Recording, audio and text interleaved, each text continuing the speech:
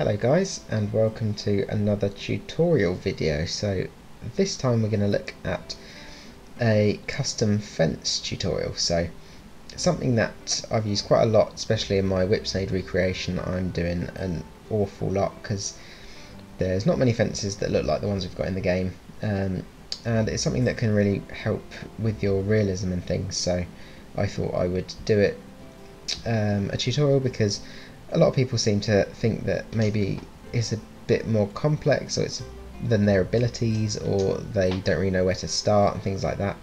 Um, and it's not actually too hard once you get started and once you kind of know what you're doing. So I thought I would do a fairly simple tutorial just on how to do some custom fencing. So firstly you're going to want to plan out your actual barriers. So you may have a habitat in mind where you think, actually, I don't really want to use this barrier, I want to use something else, um, and you want to make a custom one. Or you might just want to randomly plot something out just as a rough guide.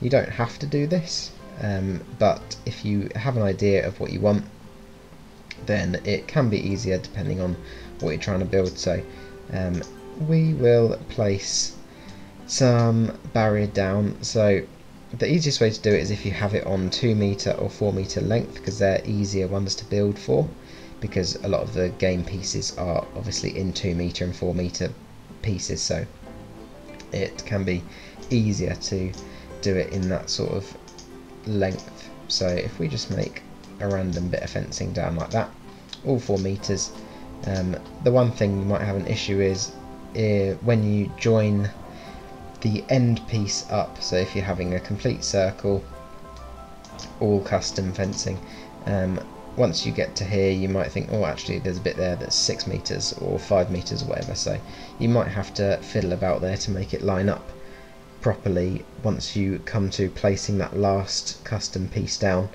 But in general if you do it like that you um, you should be pretty good to go. So next I normally find it easier to build with a wall piece. So this next step will be actually making your panel, so one single panel of your custom fence.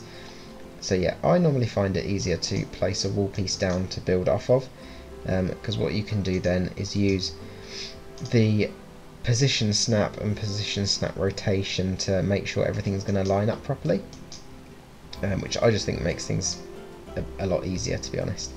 So, um, if we go for, let's say, a 2 meter decorative square, so we'll say the, the fence is going to be 2 meters high, so we'll plonk that one down, we'll make sure angle snaps on and rotate it up, and then we'll position it where we'd like it to be, so in line with that, the edge of the, the wall piece there, pretty much, and then drag it down to where it meets the floor.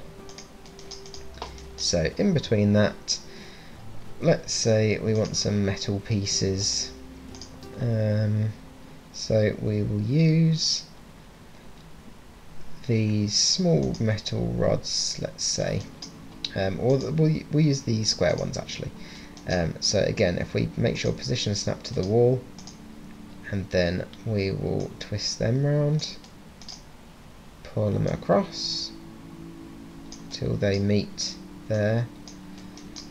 Um, in, fact, so they meet about there. So you you don't want it obviously sticking out there, um, but you don't want it hanging too far off the edge there. It doesn't matter if it overhangs a little bit, but not too much. Um, so yeah, if we say once it's in there, we can position it however we want. So let's say we just want four of these, one at the bottom, and then we'll say it like that. Obviously you can make sure things are all perfectly lined up and evenly spaced and all that. If you wish or if you don't mind things being a little bit off you can just go straight into it. But I normally try and make things up things that are nicely evenly spaced and things like that. But it's not necessary um, to be honest um, depending on how picky you want to be. So we'll make them all a nice metallic looking colour, a nice silvery colour. So once you've got your piece, you want to leave one side of the vertical off. So your fence panel will be one side vertical and anything horizontal you've got. So once you've done that, you can delete your wall panel from the group, exit there, and then you'll have one panel that you can move around and, and do stuff with however you wish. So you can move it into position, obviously you can move use the um, the X to actually properly move it around, rotate it, all that sort of thing. Um, or if you are not following a very strict kind of um, pattern here or a strict kind of layout then you can just use use M and then use D so you can uh, control D to duplicate and then just use the Z button to rotate it roughly to where you want and place things like that. So do the same again down here. So once that's done all the way along you can then delete your actual barriers because you don't need them anymore. So you can uh, you can delete these guys and then you've got your barrier. Um, you can potentially depending on the fence type you're using you might actually want barriers as a part of your fence. Um, that is a possible. So once you've placed all your pieces, you'll want to be more careful about where you're placing them if you're actually using barriers, so you might actually want mesh as part of this barrier. So you might want to lower it down just enough so that it peeks through there. And then you'll want to probably have it positioned right in there so that it's going right the way through the middle. And then you can edit edit that all the way along and make sure everything's perfectly lined up there and then you've got your mesh as part of your barrier. So that's another another useful way to combine the two pieces but yeah it's completely up to you whether you want to just delete everything and have purely custom or whether you want a mixture of custom and barriers as at the same time in the same uh, the same fence line so once you've done that, you'll basically just want to go around tidy things up. So there's a few little bits that you might need to do, do stuff tidying up wise. So things like this, as I just said, things where you, you want to make sure your fence panel's right in the middle so it all blends in properly. You might have certain points, so where I said that you you've done your loop and say this is your last panel and it's actually a little bit longer you might just want to move that along and then copy these ones across to meet them and you'll probably get this annoying thing where it doesn't actually come across perfectly how you want but you can just pull them straight back in so you may end up with one long panel, one extra long panel or you could potentially, if you wish, copy that one and have two smaller panels, it's up to you. Um, you might also want like gates and things like that in there, um, especially places like this where you have uh, kind of uneven gaps there. Might be a good place where you think, oh, I could put a fence here, or put a gate here, sorry. So um, you might want to make a little custom gate or something that kind of matches the style roughly, um, but it has the excuse that it could be a little bit too small or a little bit too big, that sort of thing. Um, so yeah, that is a few little bits that you might need to just touch up once you've finished. Um, any any of these fences, they can be as weird and wacky as you like, really. Um, obviously, there's certain pieces that sort of lend themselves more to being fences, but you could make fences out of anything really. Um, as long as you follow the same kind of technique, then you should be fine to, uh, to have whatever weird fences you would like to have. So the other thing I just wanted to cover quickly is to do with this. So when you have changes in terrain and making your fences, custom fences look right. So obviously when you use barriers, depending on what setting you've got obviously, your um, if you keep that one undulating, your fences will automatically follow the right kind of style there. Whereas if you're using custom fencing, obviously you need to do that yourself. So for your uneven terrain, there's obviously more complex ways that you have to make your custom fencing go up and down and follow follow different um, terrain elevations and things. So a good way to do this is to use the barriers first. So if you say you want let's just use the steel mesh again. So if your habitat is going to come up here obviously you've got your um, length set to your the height uh, sorry the length of your panels that you've already got. Um, make sure your undulating is ticked so you know that your as it says here post lengths remain constant above ground level which is going to be useful for you. Um, then you can plot your actual route that your part the your fence is going to take like so. And this is going to give you a good way of knowing um, the angles that you're going to need to let your custom fencing follow the right path. So we'll duplicate this over again. And we'll rotate. So we'll pop that in. Again I'm not being I'm not going to be super precise on all my uh, my placing of things um, but at least roughly correct so we'll make sure it's kind of right there because it goes in a little bit so we'll duplicate all these along so that they're roughly correct. So with these ones, when they're in the middle of the, uh, the, the ground, what you're going to want to do is pull them up so that they're just right, sat nicely in the ground there. So we will do the same again for that one. Duplicate this one and we will place it just in the ground and rotate it so that it's roughly correct like that.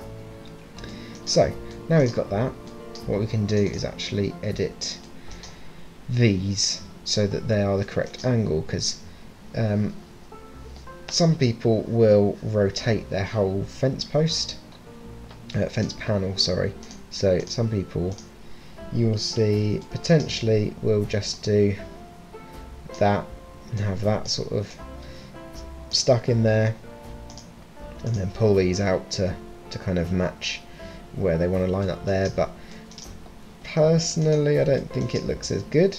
Um, I prefer it when it actually follows the angles of the sort of terrain itself. So obviously this one's nice and flat but this one we need to change and then that one we need to change. So we'll edit this post uh, this piece sorry. Uh, sometimes you it will, will be annoying when it's on a fence as I'm sure most of us know. Um, so when it's on here depends on the point of rotation sometimes. So some of these pieces their point of rotation is right on the end and some of them are in the middle but what you want to do is line up so that the your piece that you're using, your custom piece, matches the the level of the or the angle sorry of the barrier piece because that should be the right angle.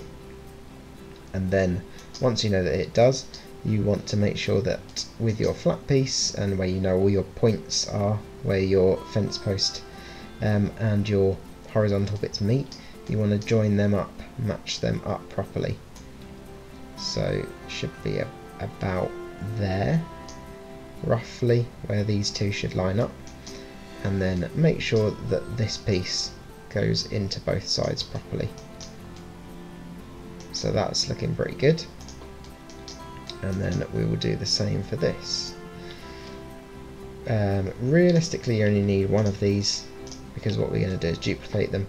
So we can get rid of all these other ones for now. Um, as long as you've you've got a straight piece somewhere that you can attach it to that you can like line up with then you're alright to straight away delete things. If you don't um, say for example you, you didn't have that piece there then you might want to keep these and then when we go to copy these you can copy them and then delete the horizontal ones so you know that they're meeting in the right place. Um, but we will uh, we will keep going for now. I accidentally deleted too many of these, didn't I?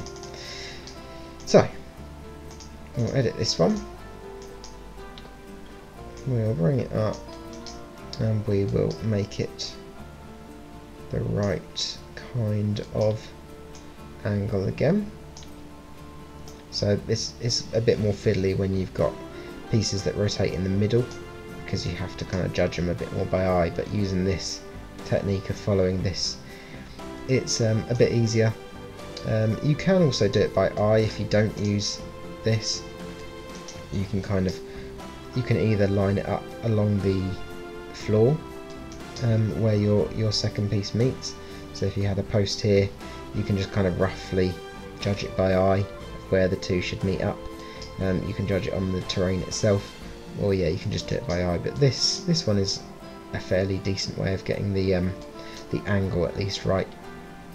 And then again, we'll pull it down to where we want them to meet approximately there pretty much um, and then we'll pull that across. So once you've done that obviously this is just a small little hill but if you have quite a long hill you can do this with all your pieces.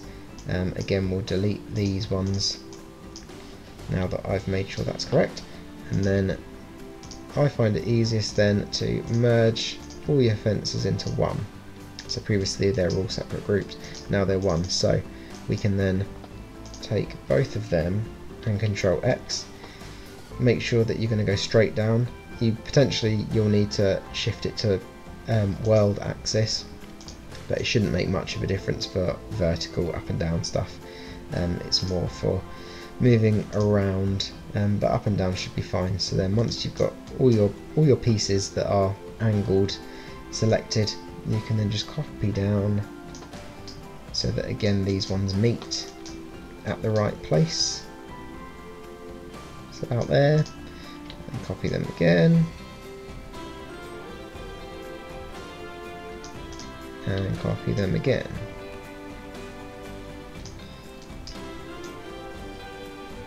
So about there. So you might have issues like this where you've got a big bit sticking out. I personally would probably just delete that one. Because it doesn't really need to be in there. Um, and then you've got your your appropriate um, heights and uh, angles.